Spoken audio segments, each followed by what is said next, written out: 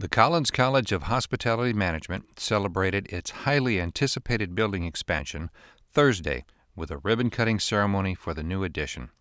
A packed house of faculty, staff, students, donors, and government representatives gathered in front of the Building 80 to get a close up view of the $10 million project. Every section and room in the building is named after a donor. The North Hall is the Marriott Learning Center, and the South Hall, the Donald and Carol Lundberg Hall, dedicated to Hay and Sheena Park.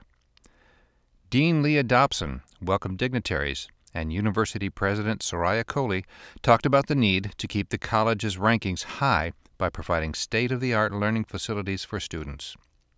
After the ceremony, the crowd toured the expansion, which includes two general purpose classrooms, five faculty offices, and a student commons area. There also is a grab and go restaurant, two classrooms dedicated for the college's graduate program, and courtyards with a view of the entire campus. Construction on the 12,100 foot expansion began 18 months ago. Classes will start in spring of 2016.